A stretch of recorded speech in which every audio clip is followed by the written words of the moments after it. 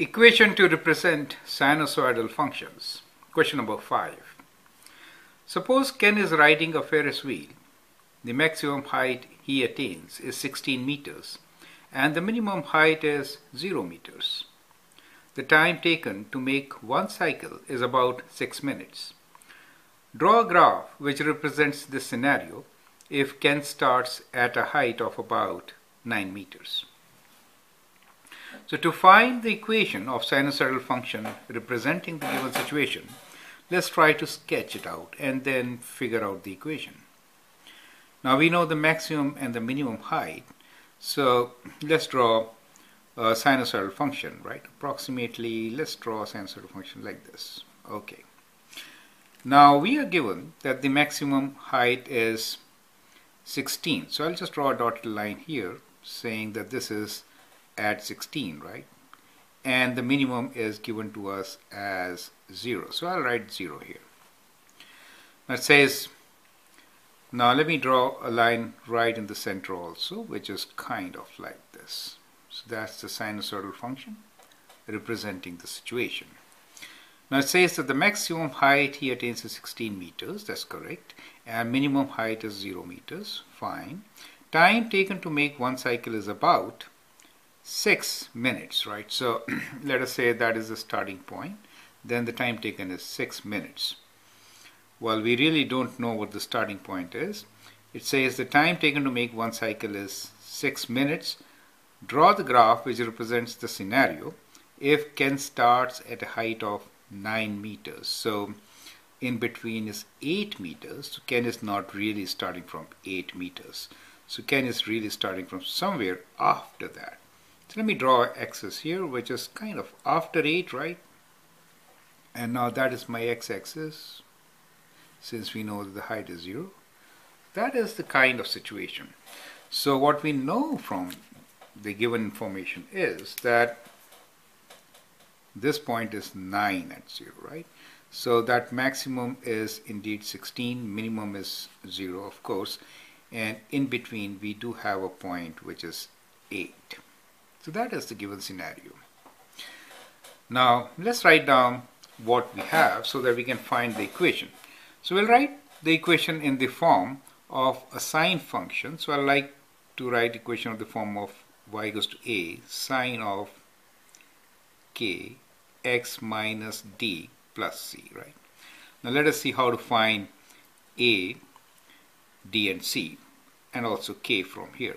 Well, we know the time period time period is 6 minutes. So we know t equals to 6. Let's say minutes, okay. So that means the value of k should be equals to 360 degrees divided by 6 minutes, right?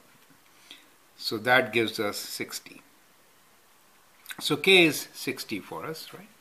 Now that is one thing we know now. Maximum and minimum is known to us and therefore we can find a, right? So A equals to maximum minus minimum divided by 2. Maximum is 16, minimum is 0, divided by 2 is 8. So we know. How about D? The average value. D is maximum plus minimum divided by 2 and that is 16 plus 0 divided by 2 is also 8. Now how do we find D, the phase shift? That is always the most critical part, right?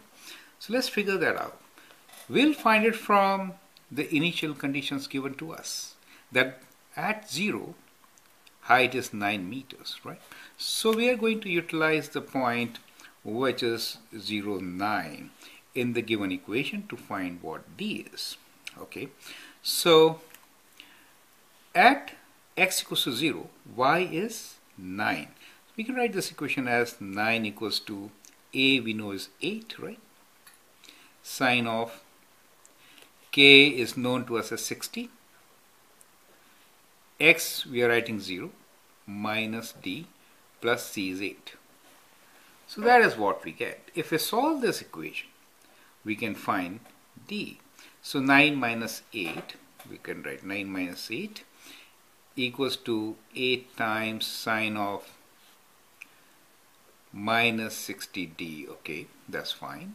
So this gives us minus 1 over 8 equals to sine of rather we'll keep this as 1 we'll not we'll keep minus 60d in the brackets so that is I think a better way of doing it so we'll take this part on the right side and solve it further now sine inverse of 1 over 8 is minus 60d so we can write minus 60d equals to sine inverse of 1 over 8 right so let's use the calculator to figure this out so second function sine inverse 1 divided by 8 bracket close equals to 7.180. So that is 7.180. Now this gives us d equals to 7.180 divided by minus 60. So we'll divide this by 60 and put negative sign there. So it is equals to negative 0.1196 which I can approximate as 0.12 right so that is what I get the value of d now knowing all this we can write down our equation which is y equals to a. Is 8 for us sine of k. K 60 x minus this so minus and minus becomes plus 0.12 plus c which is 8 right? So that gives us the equation so that is how we can find the equation from a given situation I hope you understand and appreciate how we did it let's go through it once again so when you read the question, it's a good idea to write down what is given to us. I wrote it in the form of a sketch, right? You could also write it in the form like maximum equals to 16, right? Minimum equals to 0 and time period equals to 6. So you could write that. And then from the given information you can find what amplitude is maximum minus minimum divided by 2 d is maximum plus minimum divided by 2 k is 360 divided by 6 once you get all this you can write down your equation right? So first you can write down your equation as y equals 2 from these values 8 sine 60 of x minus t plus 8 and then to find the value of t, you can use the given point which was the y-intercept 0 and 1, right? To find the value of d, the phase shift. Once you find d, you know your equation, right? Now, that is how the question should be solved. I hope you understand and appreciate the method. Thank you and all the best. To look into more examples, it's a good idea to subscribe to my videos and share them with your friends. Thank you.